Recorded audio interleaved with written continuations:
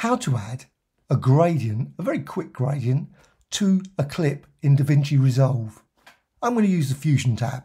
So just go over here to the Fusion tab, click here, just down here, and you'll notice you get this, media in and media out.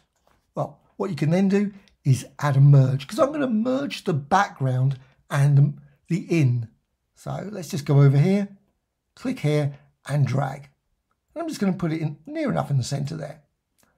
Drag that out a bit. Now I'm going to add a background. So just go here and here's the background and drag and there you have the background. But the moment nothing's interacting. So what you need to do is go here and I'm just going to go to this background, click uh, from here and drag over. And I'm just going to drag it into here. So just here and now you see it's connected. And I'm also going to do the same here as well. So I'm just going to deselect that bit and I'm just going to drag it over here and again just click there and I've got that connected. Now of course you can see there's no connection from the merge to the media out so I've just drag this over here and there you are. Okay at the moment you can't see anything. What you need to do now is the merge here I'm just going to go over here to apply mode and I'm going to change that from darken and maybe go multiply and you can see you get that. The reason being the background is still set to solid colour. Well, I need to change that, so just go over here to the inspector, and you can find the inspector here. And instead of solid colour, I'm to go with gradient.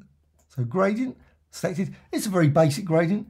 Now, it's a pity there's no way of storing an asset or a gradient. It would be nice if there was a drop down with gradients, but unfortunately it doesn't appear to be and you can just change this gradient. So let's just change it, just move it there. You can see you move that. And you can also change the red, green, and so on. But also what you can do is you can hover over the grain, click here and add another stop. I'm just going to change that, maybe go there. And you can see you can create some quite interesting gradients very quickly. You can also go down here to the repeat and I'm going to go with ping pong. So click that. Now you've got this this gradient across here.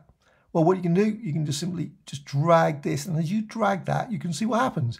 Because of the ping pong, you've got this effect, you get all these lines. And the reason being, this is linear over here, gradient type. Well, I'm not going to go with that one. I'm going to go with radial. And I can reposition this, and maybe I might decide, you know what, I want it like this, more extreme, or maybe I want the center, let's drag this over here. And and so on. So you can just move it around, reposition it. Unfortunately, it's a sort of two has to be moved. Well, okay, I've got this. Well, what I can now do is again, I can go back here to the merge.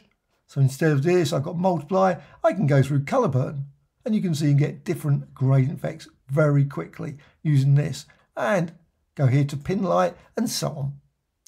But also what you can do is you can tweak the color. So I'm just going to drag this out now merging this one and this one into merge one. But also I can add some color correction as well. So just go over here. Here's the color corrector. So I'm just going to drag this over and I'm just going to place it there. And I'm just going to drag this here and then drag that there. Okay, so I've got that. Now I can go to color corrector and I've got all these options. Now obviously I'm going to just tweak it slightly so I can move this around. You can see as you change it, it changes obviously for the whole thing. It's not just changing the gradient, but you're just changing saturation and all those sort of settings.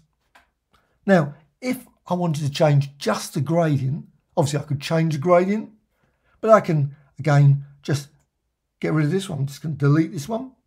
And instead, I'm just going to go over here again and color corrector. And instead of this, I can move this to this and I can drag this here. Okay, so now it's between the background and merge, this color corrector. And now I can just change this so you can see I can now change the color of the gradient universally, but it's not changing this, the actual clip itself. All going into this merge over here to media out.